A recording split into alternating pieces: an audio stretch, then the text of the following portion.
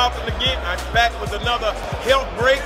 Listen, we're at the men's fellowship at the Potter's House. We're over here at the high school in the gymnasium, and we've had us a wonderful rap session tonight. We fed our souls. But now we're going to feed our bodies. Now we're going to practice a little bit of this stuff that we talked about in bodily exercise and profiting a little bit. Tonight we're going to be playing basketball. Basketball is a form of cardio. We make sure that they stretch out a little bit, make sure that they don't hurt themselves. And whenever you're going to play sports or do something that you haven't done in a long time, you need to get your good stretch in. You need to take your time. You need to work up a little sweat. Why do you think people work out? Why do you think people warm up in basketball and warm up in football?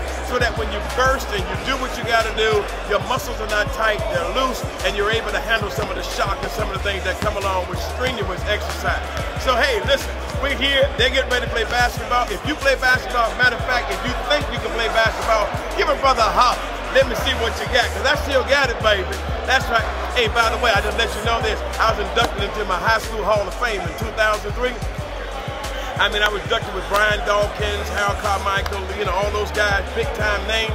Let me tell you something. They were trying to find a record that I held at the school, and the only thing they could find was this, and this is true.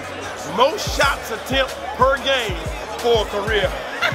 That's right. I, I'm the original Allen Iverson, the original. You know, Kobe don't shoot enough, Carmelo don't shoot enough. I be trying to tell them folks, World B. Free didn't shoot enough, uh, Downtown Freddie Brown didn't shoot enough. None of these boys shoot enough. They need to shoot like the brother man right here used to shoot. They to shoot that thing, baby. And still got a little something, something going on. I'll show it to you in a minute. Well, this is Bishop McLaughlin saying, God bless you. Work it out now. Remember, stretch first and then get your cardio on. If it's basketball, if it's volleyball, if it's tennis, whatever it is, get that exercise, baby, and get yourself in shape, all right? And stay strong.